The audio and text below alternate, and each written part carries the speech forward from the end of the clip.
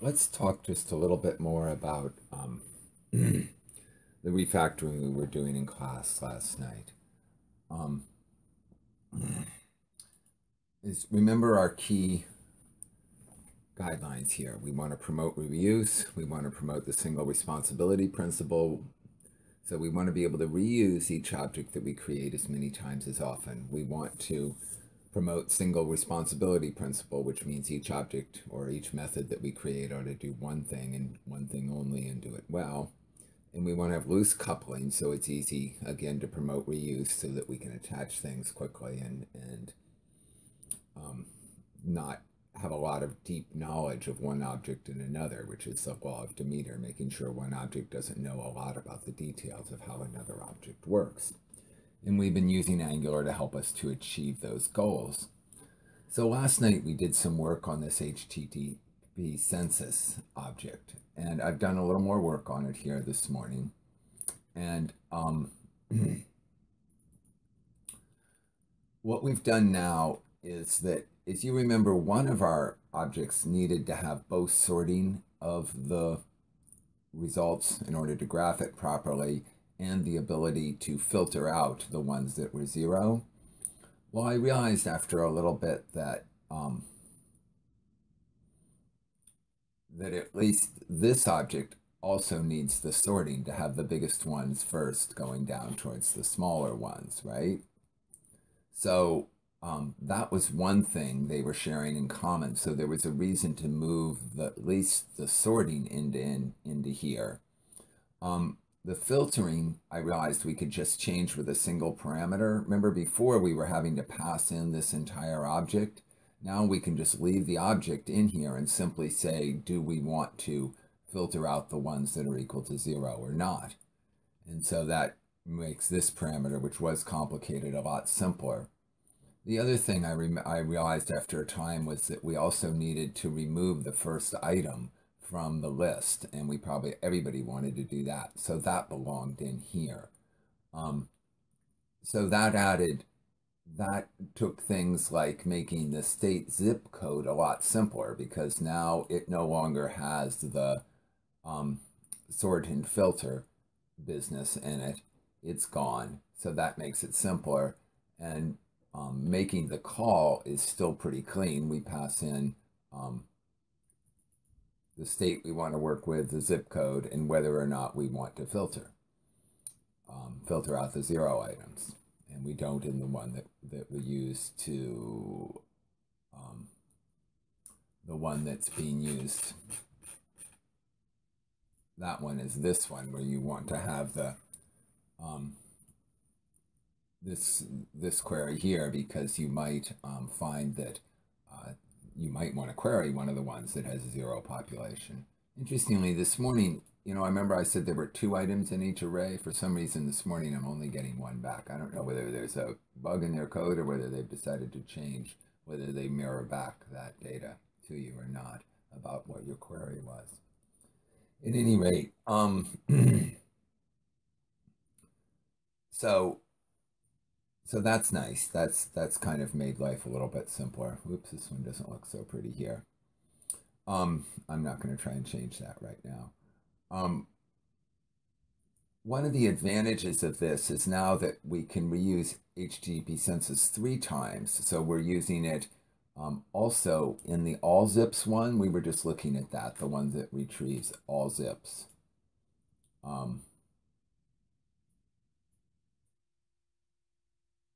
We're looking at that all the way down to the very lowest ones. They're sorted now, which is nice. We got that for free.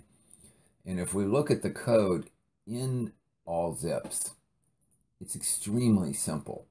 All we have to do is call our census, which does the HTTP call. Then it's got the promise built into it. And then all we have to do is take the data that got responded. It already got sorted. We already had the first item taken out of it. And we just pointed at, at our all zips. Um, here, which is um, simply an iterator.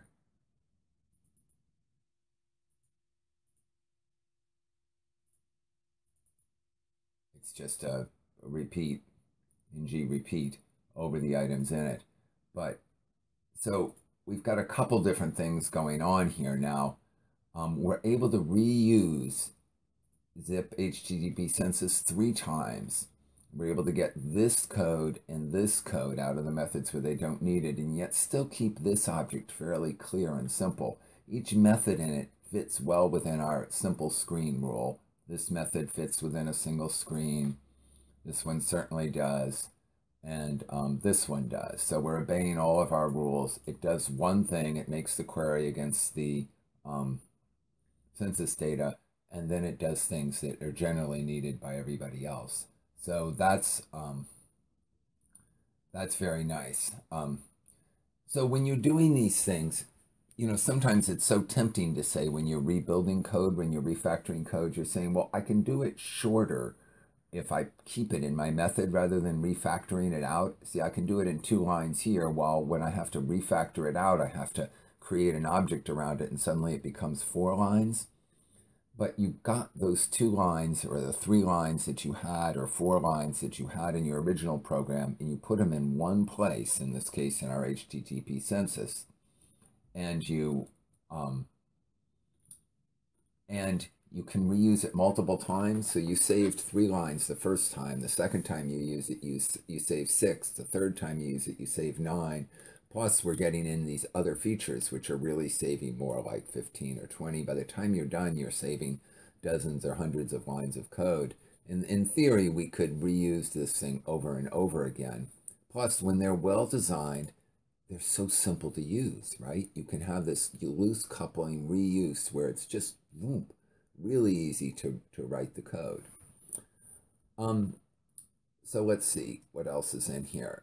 Um, the other thing that I ran across was this issue. We discussed it briefly in class and then never really got around to it.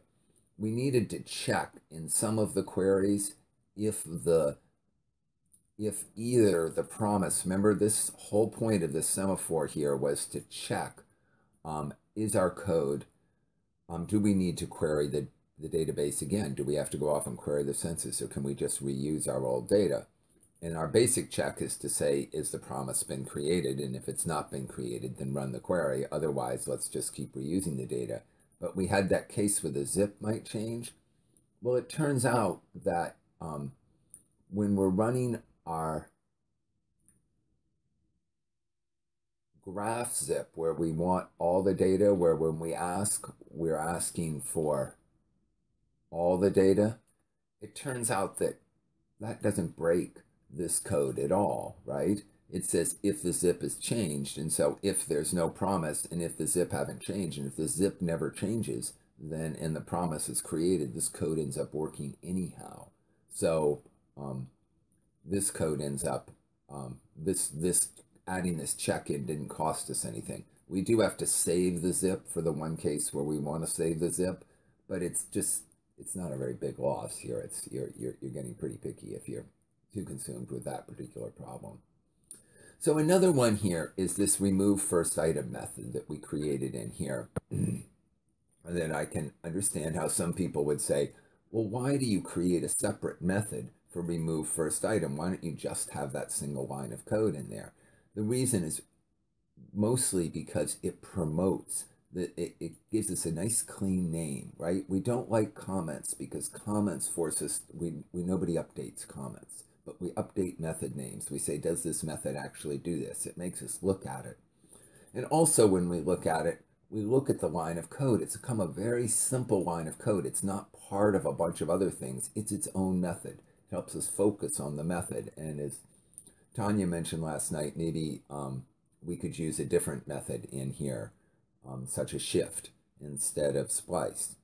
And so it makes us focus on it and think about it all. So, and, and remember, not everyone knows what splice does. We all do in this class now, but not everyone does. So someone who's new to this code, maybe is a great C++ programmer, but not so good at JavaScript, won't know what splice does. By describing it, everything's clear, yet you don't get into the aesthetic disaster of a comment that's usually an admission of failure that you were unable to name your methods and your ob and your um, objects correctly.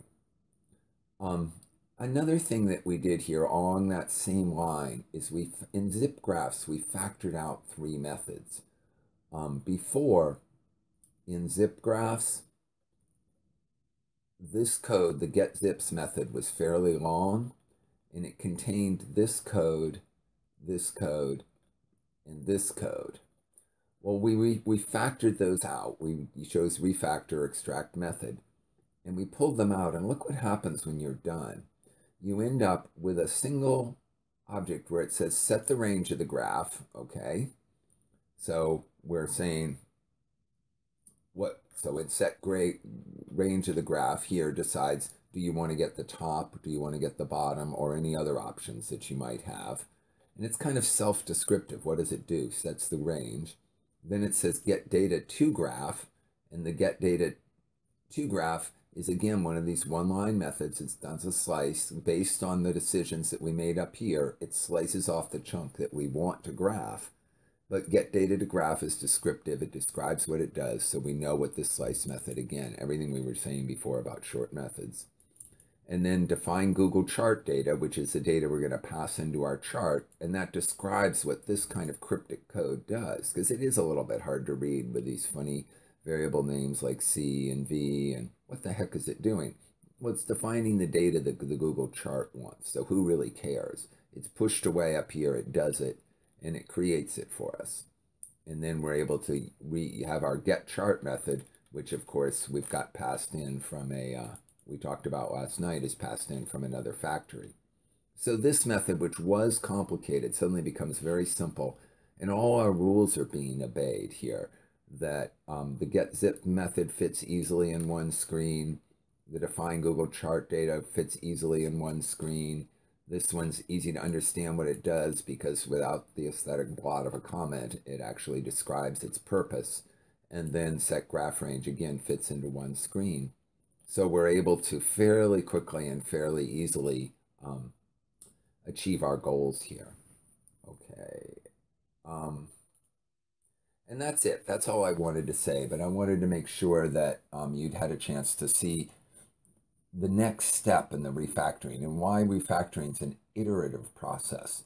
Last night we made progress with it. This morning, in some ways, I reaped a lot of the benefits of the work we did last night because once I had the HTTP census object, then it was really zip HTTP census. Then it was really easy to see what to do with it and how to make it better, more reusable, how to make it more useful. But the first step was factor it out get it out there so that we could reuse it.